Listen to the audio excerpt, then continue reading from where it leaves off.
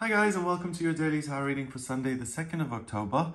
I want to use the Golden Art Nouveau Tarot today. I think I used these cards recently but I just, uh, they feel right today for this reading. So let's see what the cards have to say about Sunday. I just want to show you some of these again before I choose three cards. So let's have a look at what these tarot cards have to say about Sunday the 2nd of October and the type of energy you can expect.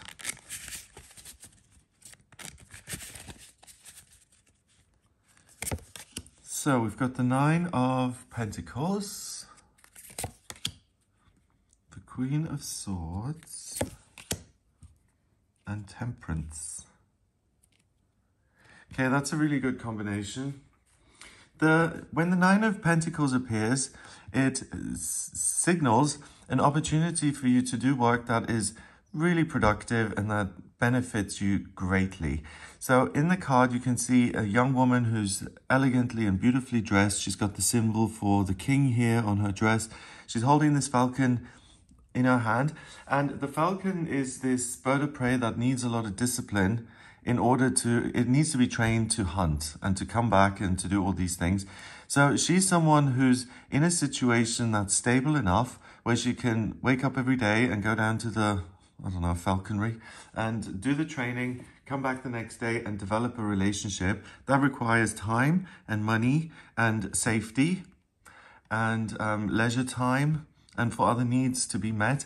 So this card showing up today indicates that you can do really good work which is going to pay off in one way or another. So either you can uh, work and make money, quite literally. Pentacles is the element of earth, so it has to do with your career and your finances.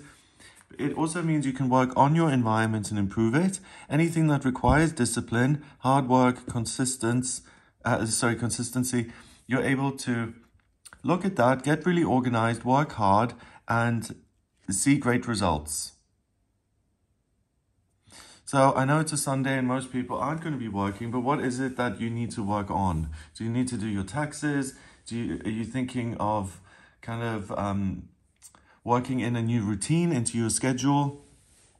Do you want to change the way you work?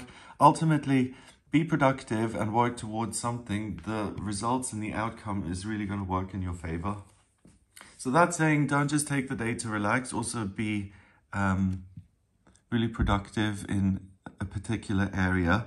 Next, we've got the Queen of Swords. This woman is a judge. She's very good at making difficult decisions. She sees the bigger picture. She's objective. She's not biased. And she goes on the facts. So this is a woman who sees very clearly and very far. So she has a lot of influence. What she says is the law. Quite literally, I suppose, if she's a judge. Yeah, but she's also the queen. So she's in charge the well-being of other people and she's a great leader. She's able to look at situations, see what the problem actually is and what to do in order to obtain freedom for herself and for the people she rules. So hard work and a total clarity of vision and when you combine these two you can get a lot done. So if anything is confusing to you, anything on your to-do list that needs a lot of work and you've put it off because you just can't make heads or tails of it, this is the day to approach that kind of task. You see right to the solution, you get rid of the nonsense and you do work that is super, super effective. So it could be chicken or egg, you know, is the work really good because you're seeing things so clearly or are you making amazing decisions because you're focused on grit and determination and doing the right thing and working hard? Ultimately, it works in your favor both ways. Um, it could even be like if you have to prepare for anything legal or if you have to write a speech or if you have to make a presentation, work on that today. She governs, um, the Queen of Swords governs ideas and the media and the public and communication back and forth and understanding and even debate.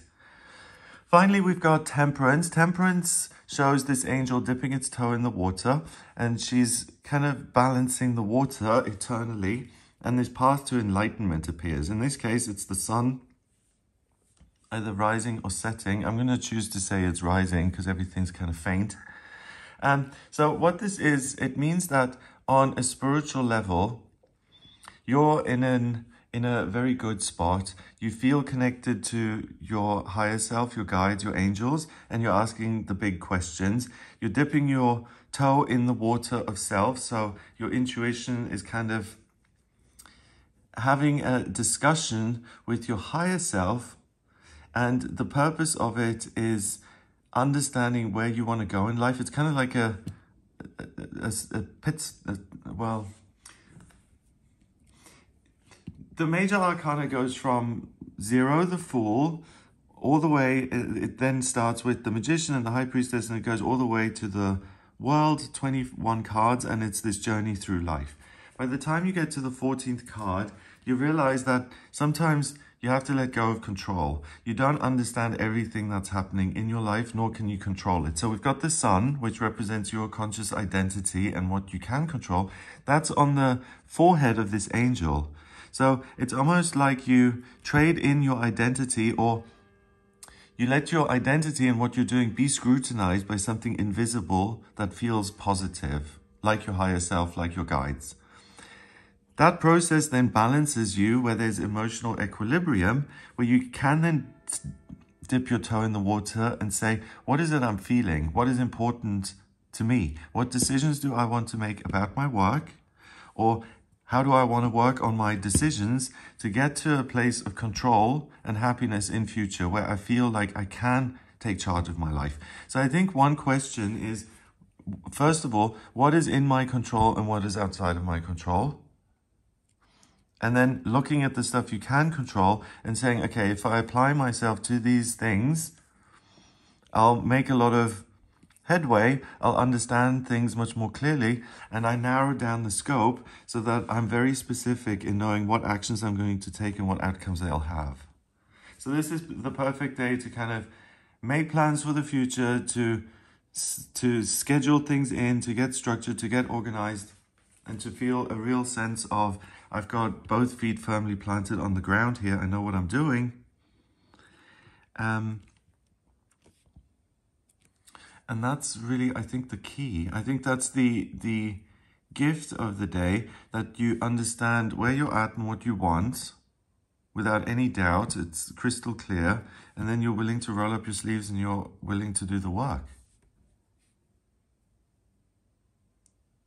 The fact that we've got three women delivering this message, it's the, the, the energy of the day is going to be really strong. There'll be opportunities to do work that show up, or you'll be prompted by your ideas or your feelings during the day to look at what needs doing and to then do it. You're going to be overly critical without thinking about it. So it's not like you wake up and say, okay, what do I make sense of today? You naturally just feel this inclination of the Queen of Swords to say, okay, let me have a really clear look at things in order to understand them so that the work I'm doing is actually a good use of my time and has a payoff and not just a waste. And then finally, this feeling of contentment and being held by the hand and supported and guided through life. That's really important because often this is what's required to to to get to have courage first and foremost to then make decisions about your life and the bigger picture which to most people is really important and really personal.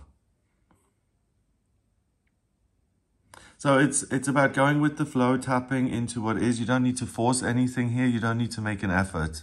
The day will provide these opportunities. It's, it's super interesting actually. And also because all these um, female characters are in the cards here.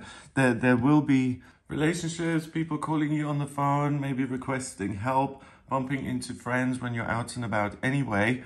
So I don't think you have to try very hard at all. I think it's just allowing things to ha happen, deliberately not making an effort, and just going with the flow and seeing where the day leads you, and then applying all these talents in those areas. Number wise, we've got 14 and 1, that's 15, and 9 is 24. Two and four is six, and six is the opportunity or deliberately creating the opportunity to see things clearly, to do the work, and to create a greater sense of purpose and direction through the little things you put in place today.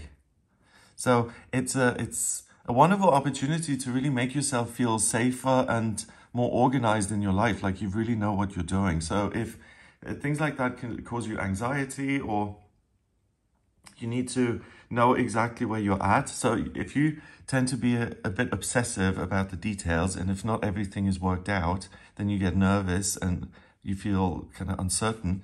This is a, a good day to kind of tick all those boxes and to have a very satisfying list at the end of it where everything is in place. That kind of thing, by the way, I don't think is such a great habit to get into because again, the, the big thing is what can I control and what can't I control? And there's no point on working on things that are outside of my control. And that often is forgotten or is difficult to, that's the key thing there.